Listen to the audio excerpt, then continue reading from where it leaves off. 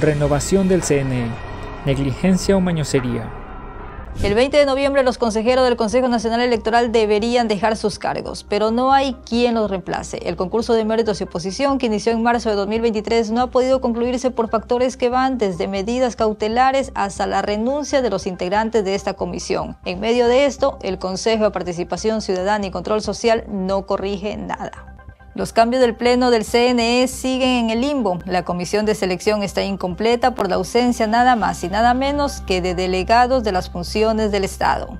Este concurso se encuentra actualmente en la fase de oposición. Sin embargo, también se ha visto empañada por varias renuncias de los comisionados. El Consejo de Participación Ciudadana, a partir del 5 de agosto, ya emitió una resolución para reconformar la Comisión Ciudadana de Selección, ya que actualmente nos encontramos únicamente con cinco miembros, cuatro miembros nombrados por parte de la ciudadanía y quien le habla, que es representante de la función electoral. Y es que este concurso desde el inicio empezó mal. En noviembre de 2021 se convocó a los interesados que quieran ser parte de la Comisión Ciudadana de Selección. Un año después, en noviembre de 2022, se posesionaron.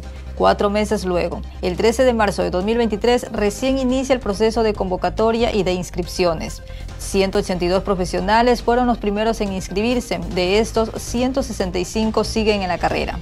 El 14 de julio el concurso fue suspendido por una medida cautelar presentada por uno de los postulantes, quien consideraba que se estaban vulnerando sus derechos. Esta Comisión Ciudadana de Selección en mayo de este año presentó un cronograma para poder culminar con la fase de oposición y la de impugnación ciudadana, que son las dos fases que se encuentran pendientes. Porque la fase de oposición incluye algunos procedimientos administrativos que los debe ejecutar el Pleno del Consejo de Participación. Esto es, por ejemplo, la contratación de un sistema informático que se lo realiza a través del portal de compras públicas.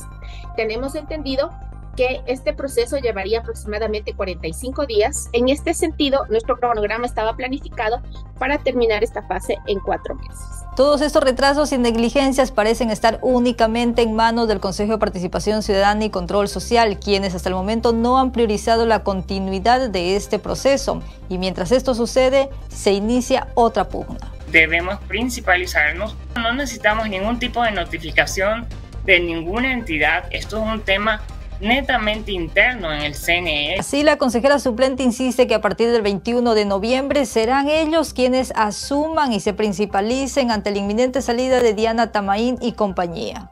Pero no tan rápido. La defensa consultó a los consejeros de participación ciudadana sobre si es procedente o no que los suplentes reemplacen al actual pleno. Aunque la mayoría no ha respondido, Nicole Bonifaz sí lo hizo y mencionó que no existe ningún informe jurídico que avale esto. En el Consejo Nacional Electoral se nos indicó que los posibles cambios son potestad del Consejo de Participación como responsable del concurso, algo que avala su presidenta. La ley del Consejo de Participación Ciudadana hace que se nombren o se eh, designen a través de un concurso público a los miembros principales y suplentes del Consejo Nacional Electoral y su renovación es de principales y suplentes. La ley es clara, nosotros esperamos que seamos reemplazados legalmente para dejar nuestros cargos y así será.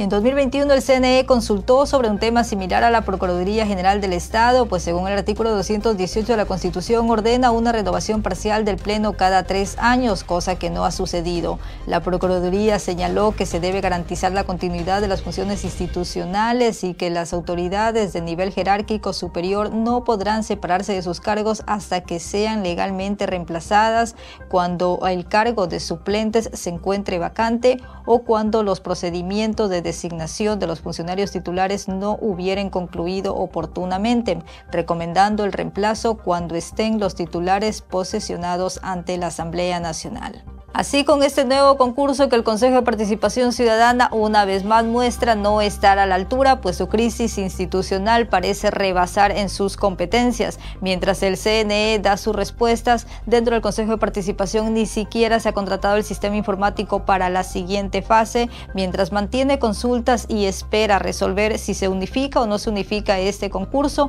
que tal como van las cosas tendría un CNE nuevamente prorrogado. Soy Mercy Castro y somos defensa. Defendemos la verdad con periodismo.